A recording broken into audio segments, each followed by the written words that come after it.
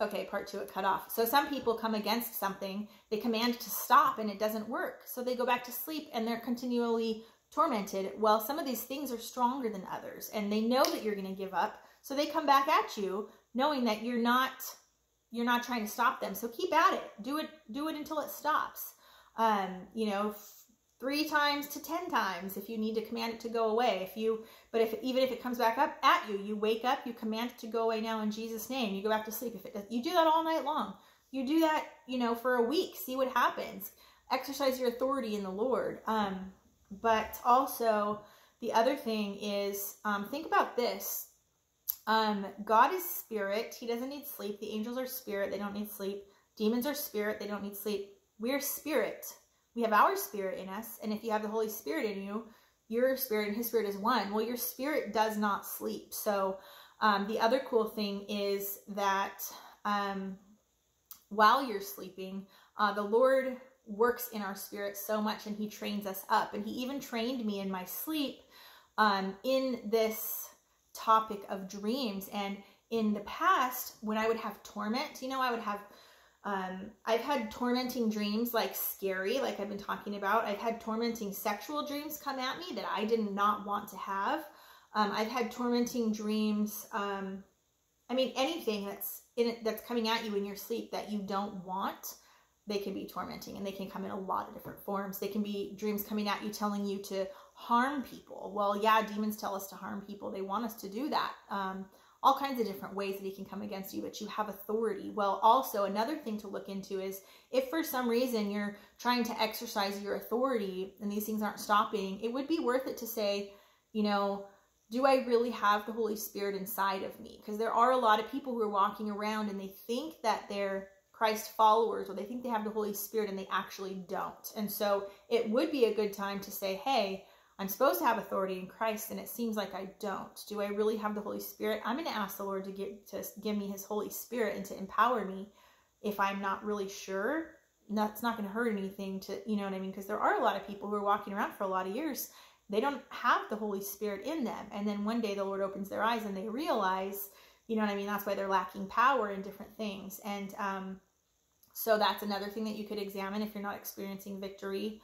Um, the other thing, so coming out of agreement with these these evil things that you've either been watching, it can come through movies, also music, and it doesn't have to be scary music, but anything that is ungodly, that is demonic. It can be rap music, it can be heavy metal music.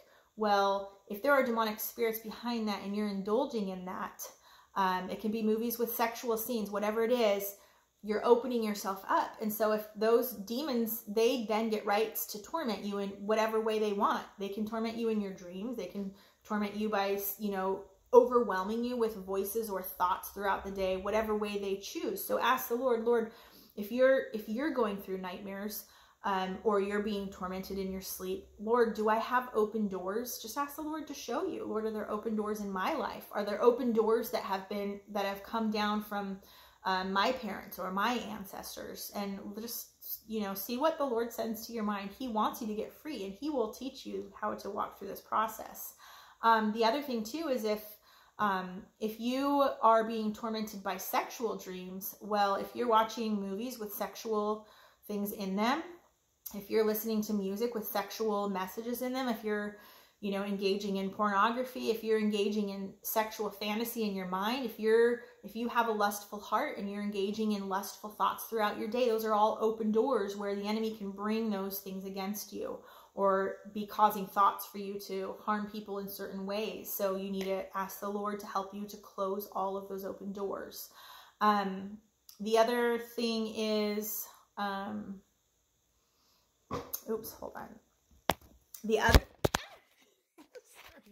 the other thing is indulging in dreams. So if you have violent dreams or sexual dreams, whatever they are, here's here's a ploy that the enemy uses. Well, you know, talks us into indulging in in our dream. So we have a dream and we wake up, wow, I didn't want to have that dream, but then we think about it and we replay it in our mind throughout the day. We can if it was sexual, you're getting sexual satisfaction from it, or if it was violent um, or scary, you could either be like working up fear inside of yourself or you know, thinking about actually doing these things. So if you get a dream that comes against you, ask the Lord to renew your mind and take it away from you. And don't indulge in that dream throughout the day because even if you didn't ask for it or cause it, if you indulge in it, you're actually taking part in sin.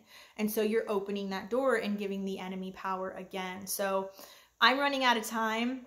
I just pray that the Lord open your eyes and I will post more about dreams and overcoming the enemy in dreams and how the Lord has worked in me um, as as the Lord is leading me. So uh, bring these things to the Lord, be in your word, play worship music, ask the Lord to help you to close the open doors and even write things down as you hear or sense in the spirit that he's leading you to close these doors. It's so important. And um, he will make you an overcomer in Jesus' name. May he bless you and keep you and shine his face upon you.